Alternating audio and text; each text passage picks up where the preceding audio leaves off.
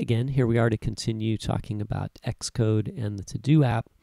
And, uh, you know, in the last video, we set up our table view and, uh, you know, we got some to-do items to show up in the, in the cells in the table view here.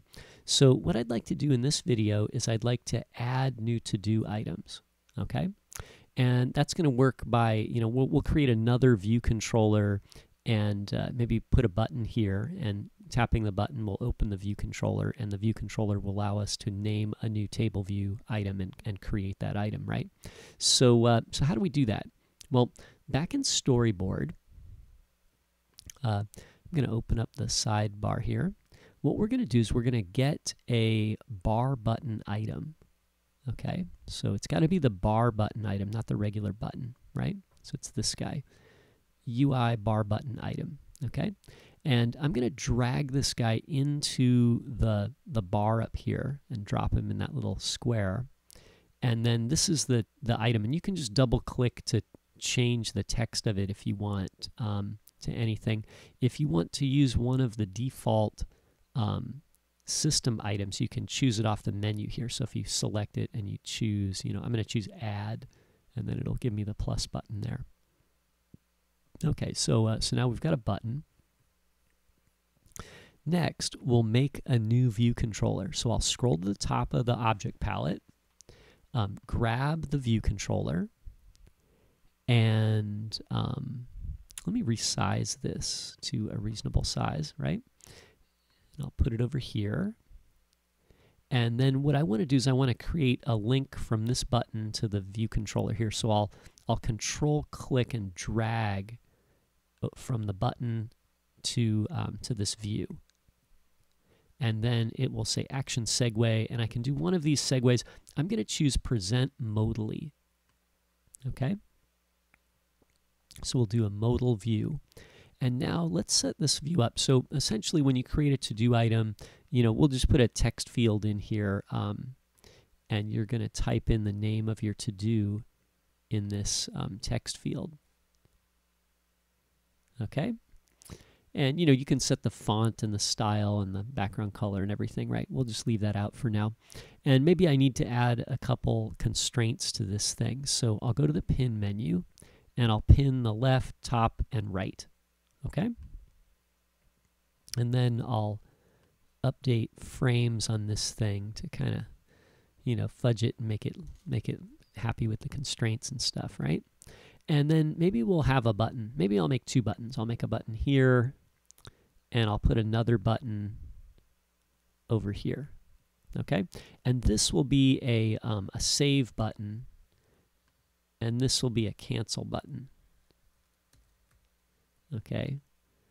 You can work out your UI and UX issues um, later. I'm just getting this working here, right? Making sure it works um, for now, right? We can we can set the styles and you know debate user interaction a little bit later.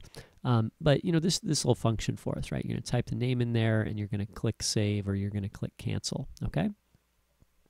So this new view needs a view controller or a, you know a view controller file like a Swift file to run the code here. So what we'll do is we'll make a brand new Swift file.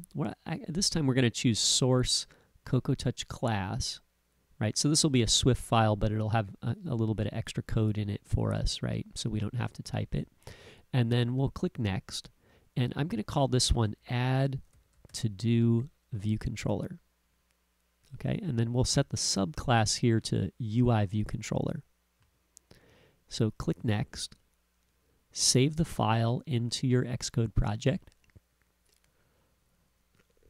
and there it is, right? So, you know, just choosing Cocoa Touch class gave us this code right here, and it kind of added the comments and filled this stuff in, right? So that's all that did.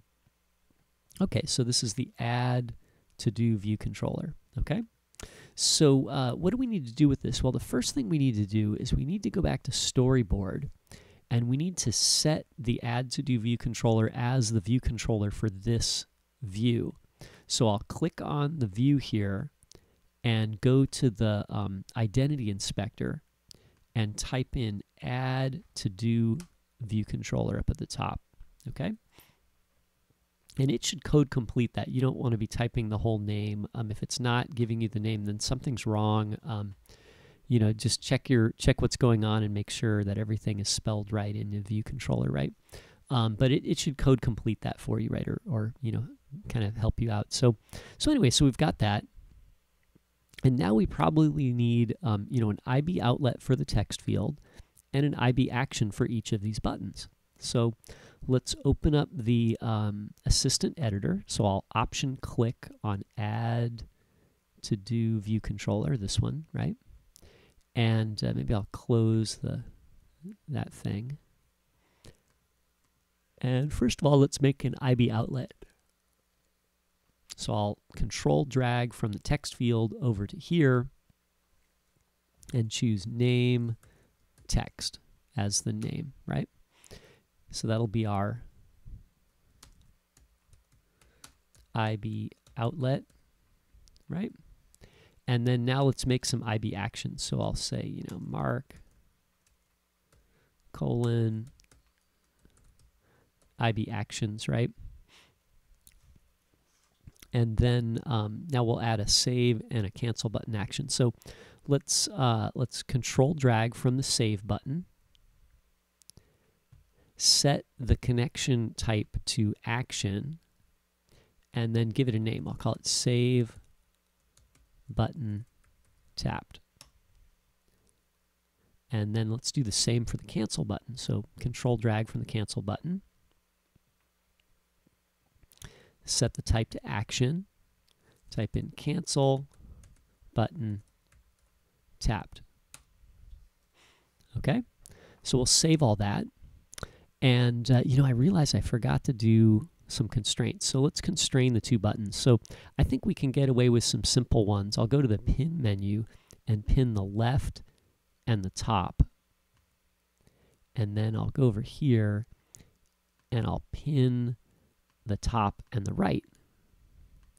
And I think that's enough for these because the buttons have an intrinsic height and width. So we actually don't have to set the height and width for them unless you make them larger than the text.